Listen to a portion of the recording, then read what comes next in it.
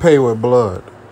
I want to start off by giving all honor and glory to Yahweh Ba'ashem Yahushua, Ba'ashem Rekakadash Lai Walam Yum. I want to give double honors to my elders and apostles of Great Millstone for teaching me sound doctrine.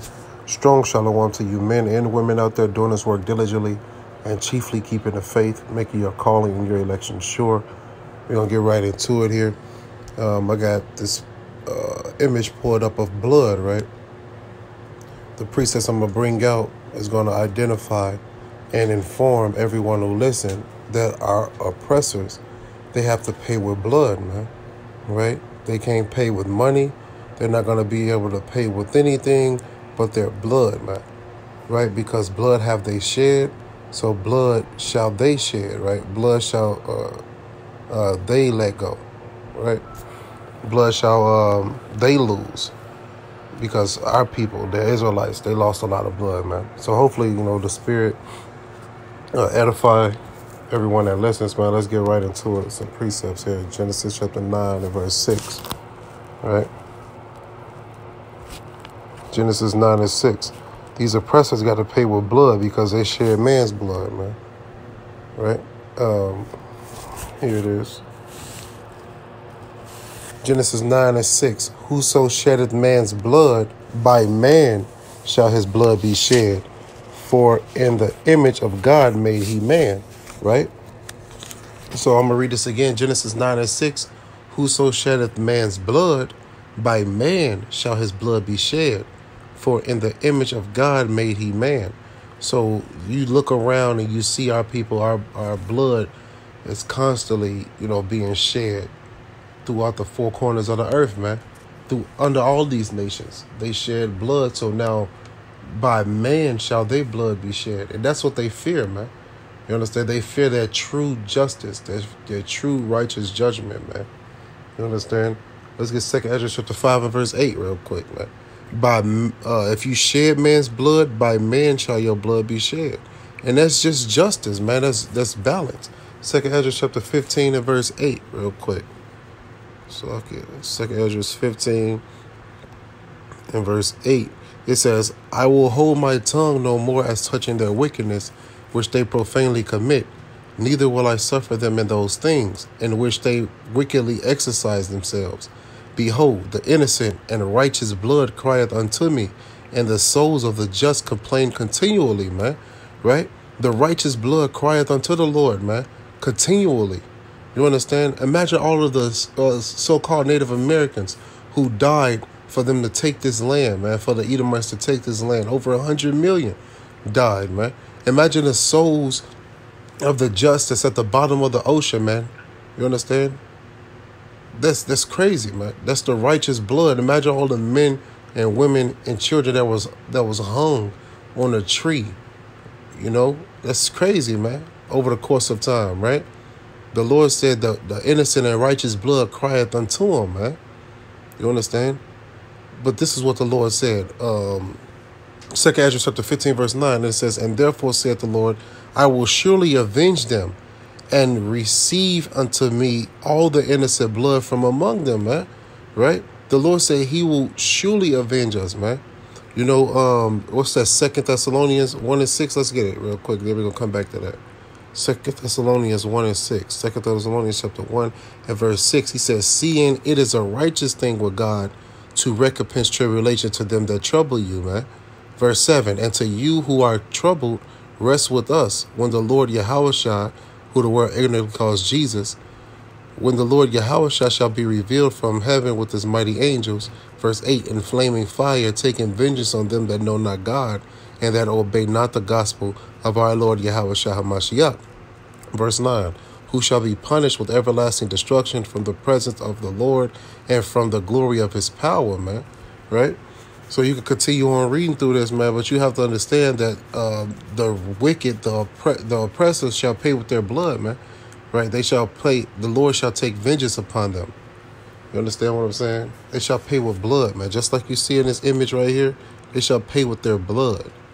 You understand? How can they? How can they um give us justice? How can they pay us back with blood, man? Just what the scriptures is bringing out, right? Going back over to that um Second Thessalonians, the scriptures, not Second Thessalonians, so like a Second Ezra chapter 15, the scriptures bringing out what? That the righteous blood is crying unto the Lord, man. And these people don't, they don't give a damn about destroying the righteous blood. They don't give a damn about destroying the righteous, man. Right? They don't care. Let's get the wisdom of Solomon. Chapter uh, 2, real quick. The thoughts of the ungodly, man.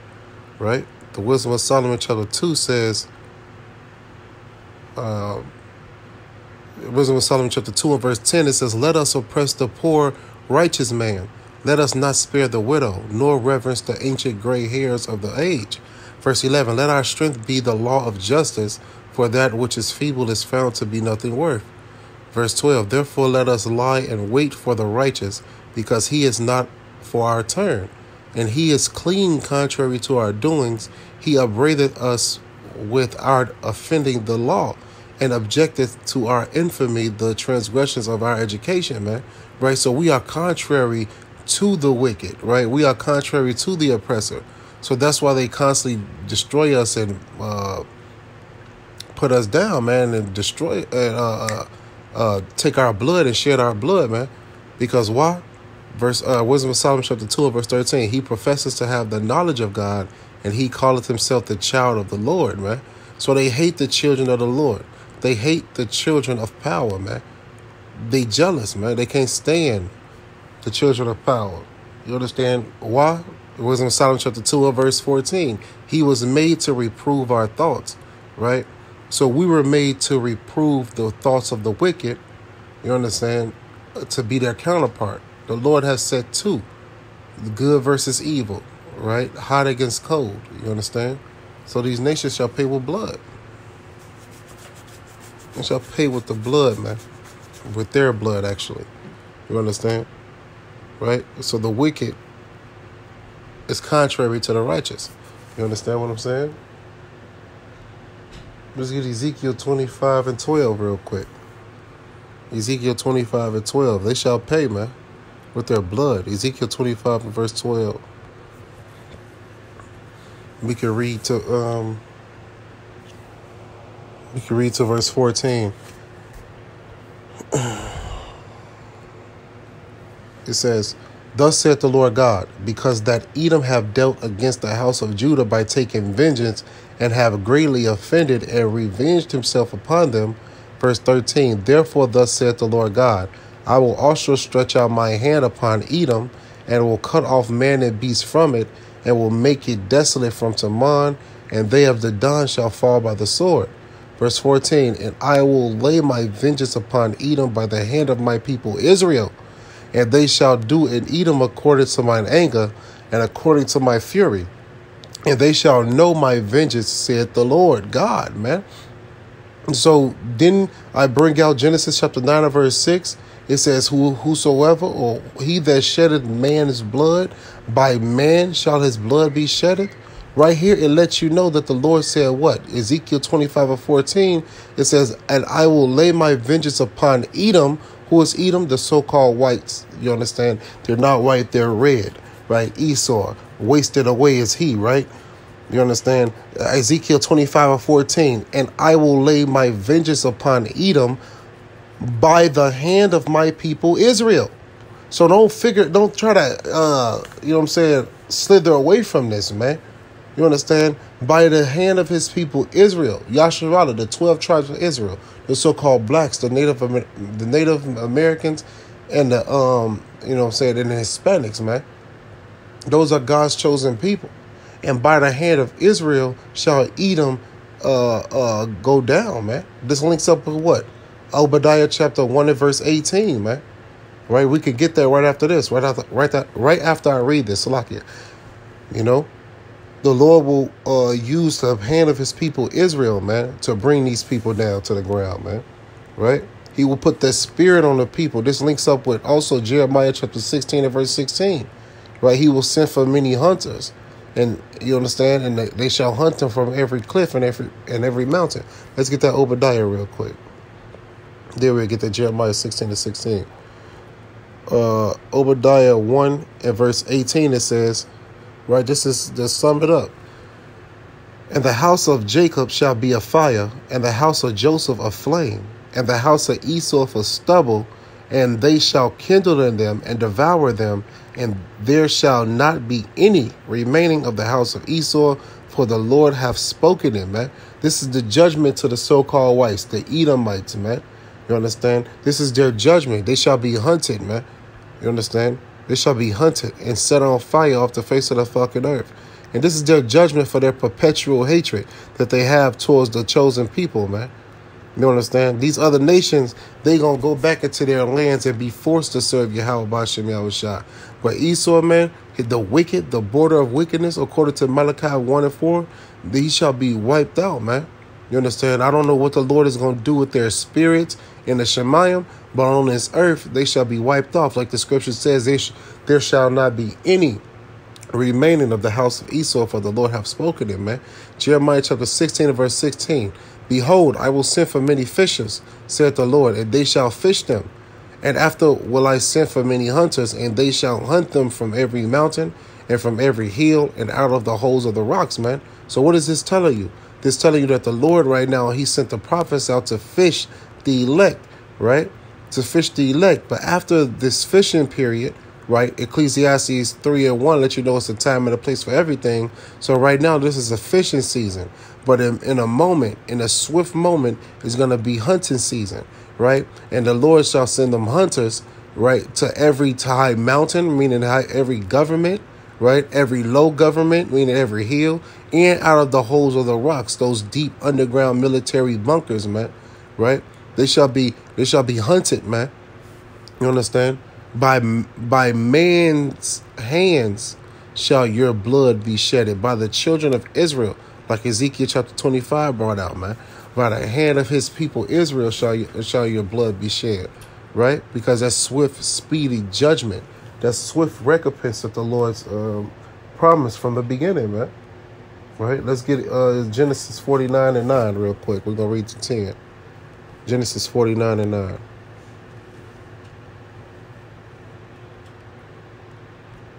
It says, I'll read to 10. Genesis 49 and 9. Judah is a lion's whelp. From the prey, my son, thou art gone up. He stooped down, he, crouched, he crouched as a lion, and as an old lion, who shall rouse him up? Right? What is this going into? This is going into how our people have lost our might. We are really powerful people, but we are a crouched lion. We are oppressed, man. You understand? We are down. We are, you know what I'm saying, uh, uh, afflicted, right, by the many wounds but from these nations. But the scriptures put the question now, who shall rouse them up? Who shall rouse them up? The spirit, right? That's why Isaiah chapter 34 and 16 says, Seek ye out of the book of the Lord and read. None of these words shall fail, none shall want or mate, and his spirit it had gathered them. What it had gathered them? John 6 and 63. It is the the uh it is the spirit that quickeneth, the flesh profiteth nothing. These words that I speak unto you, they are spirit and they are life, man. You understand? So who shall rouse them up? The spirit shall rouse them up. There's wisdom, there's knowledge, there's understanding. Yahweh Shem Yahushua shall rise up that, that crouched old lion, man. You understand?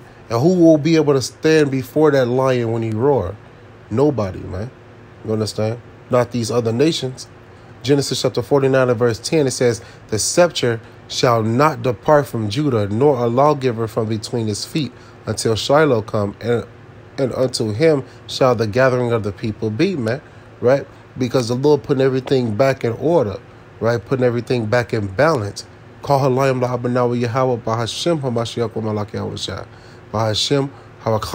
La'iwalam Yum.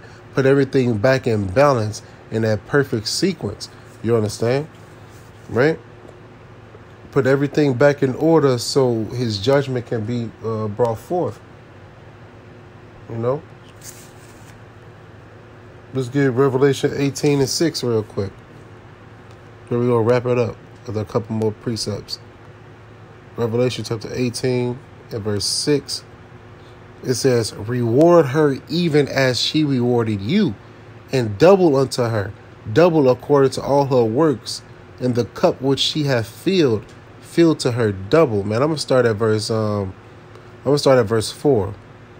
It says, Revelation 18 and 4. And I heard another voice from heaven saying, Come out of her, my people, that ye read Slakia.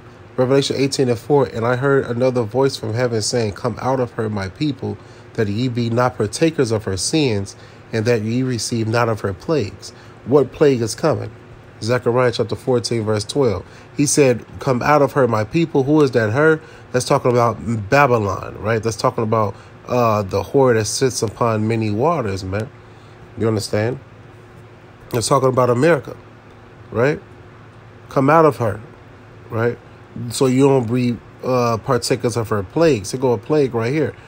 Zechariah chapter 14, verse 12. This is the plague that the Lord is talking about. You don't want to be a partaker of this plague that's coming. Zechariah 14 and 12. And this shall be the plague wherewith the Lord will smite all the people that have fought against Jerusalem. Their flesh shall consume away while they stand upon their feet, and their eyes shall consume away in their holes, and their tongue shall consume away in their mouth, man. All right? This is the plague that the Lord is warning the people to to uh to watch out for, man. To watch and pray you don't be partaker of this plague, man. You understand? Run out of Babylon mentally and run to your house by Shem Shah. Proverbs 18 and 10 let you know that the the that the uh, the fear of the Lord I mean, Slakia, that the name of the Lord is a strong tower, and a righteous runneth, runneth into it and is safe, man. Right? So the scriptures tell you to reward her, tell us to reward her double, reward her as she has as she has done us, right? So what she shedded our blood, so her blood shall be shedded. These nations shedded our blood, so their blood shall be shedded, man. And that's only right. It's only justice. Let's get Nahum three and one.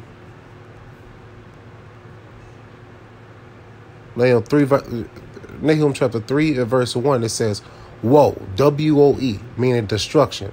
Woe to the bloody city! It is all full of lies and robbery. The prey departeth not." Right, right. Destruction to the bloody city. America and all these other nations were built on nothing but blood, man, off the backs of our peoples, right? Right? Destruction to the bloody city, the scripture says, man destruction to the uh, America and all these other nations that are drinking and drunk with the wine of her philosophies. Nahum chapter 3, verse 1 Destruction, woe to the bloody city. It is all full of lies and robbery.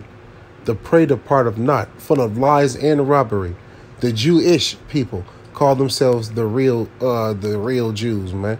They're Jewish. They they want to be the Jews, but they are not, man. They're imposters. They claim to be us. They robbed our heritage and laid and, and lied about it, man. Right? You know what I'm saying? Destruction to them, man. All right, let's get Habakkuk 2 and 12. Just precepts to link up with this. Habakkuk 2 and 12. It says, Woe to him that buildeth a town with blood, and establisheth a city by iniquity. So you look around and you see, look at the different countries who have established, who have built their town, who have built their country on, on blood, man. On the blood of who? The Israelites, the saints, the slaves, man. Right? The scripture says destruction to him that builded a town with blood and, and established a city with iniquity. Right? Destruction, man. You understand? You, uh, you wanna you wanna constantly spill the saints' blood, your blood shall be shed, man. It's just that simple. It's just that simple, man. You understand? You shall pay with blood. You ain't gonna pay with your your money that don't mean shit. You ain't gonna pay with none of that. You ain't gonna pay with I'm sorry. None of that. Right? you gonna pay with blood. That's what you're gonna pay with. Blood, man. And that's why y'all so scared because the elite knows that they have to pay with blood. You got the kids saying, Whoa, it's not me. I didn't do it. I didn't do it. But the scriptures tell you what? Pay. You're going to have to pay for what your forefathers have done, man. Let's get it. Isaiah 14 and 21. Isaiah chapter 14 and verse 21, it says, Prepare slaughter for his children, for the iniquity of their fathers, that they do not rise nor possess the land, nor fill the face of the world with cities. You understand? You will not fill the face of the world with cities. You shall be put cut off and dead, man. Right? Cut off and put to death for your wickedness, Esau. And all you other nations, Esau will be a, a example. That's what the Lord is doing. The Lord is making Esau, Edom, an example. Isaiah chapter 63 and verse 1. Who is that that come who is that cometh from Edom with dyed garments from Bozrah?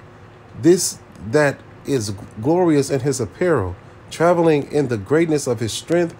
I that speak in righteousness mighty to save. This is talking about Yahweh and how he's destroying Edom, man. He has dyed garments, man. It's a lot of blood on his garments to the point where it looked like he dyed it red. Verse 2 it says, Wherefore art thou red in thine apparel, and thy garments like him that treadeth in the wine fat, man? Right? He's doing so much killing in the land of Edom. Him and his elect men doing so much killing to the Edomites, man. It looked like their garments are dyed red. Look, it looked like they were just stumping on grapes or you know what I'm saying, making wine, man. You understand? Isaiah chapter 63, verse 3, it says, I have trodden the winepress alone, and of the people there was none with me, for I will tread them in mine anger and trample them in my fury. And their blood shall be sprinkled upon my garments, and I will stain all my raiment, man. Verse 4 it says, For the day of vengeance is mine. Salakia. Isaiah 63 verse 4, For the day of vengeance is in mine heart, and the year of my redeemed is come, man. This is Yahweh coming back for blood, right? Coming back for the blood of those who oppressed us. Coming back for the blood of those who shed man's blood, man. Right? That's what the Lord is coming back for. He coming back to save his elect, and he's coming back for mighty destruction. You understand? It's going to be like a drop to a wave that's going to be saved compared to all the other people out there, man. The Lord said the day of vengeance is in his mind. He just up there waiting on Yahweh to give him the call that he gonna jump down with a screech, with a screech like a woman in travail. The Lord is mad and he's pissed off for what these nations have done to us and for what these nations have done to him. You understand? And what our people, two thirds of our people, have done to our Lord, man. You understand? So hopefully this was edifying. I want to give all honor and glory to Yahweh by Hashem Yahushua, by Hashem Kakanash Lai Walam. Once again, double honors to my elders and apostles of Great Millstone for teaching me sound doctrine. Strong shalom to you men and women once again doing this work diligently, chiefly keeping the faith, making your calling in your election sure. Remember that the oppressed, the oppressor shall pay with his blood, and he shall pay Yahweh and Yahweh, and the elect men that's going to go out and fight. You understand? So hopefully, once again, this was edifying, man. Shalom, Yasharon. On to the next.